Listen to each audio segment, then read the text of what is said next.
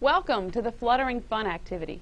I'm Bonnie Murray, your education specialist, and I'm going to connect NASA and racing to give your students real-world application to the STEM topics in your curriculum.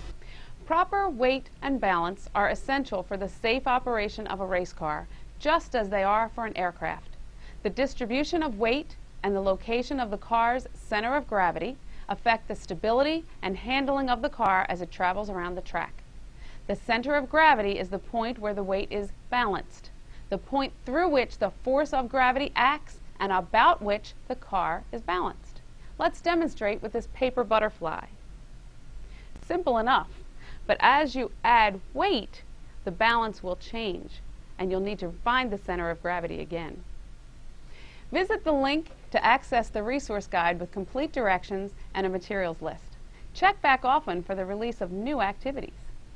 There are also additional resources found in Exploring the Extreme Educator Guide at the following link.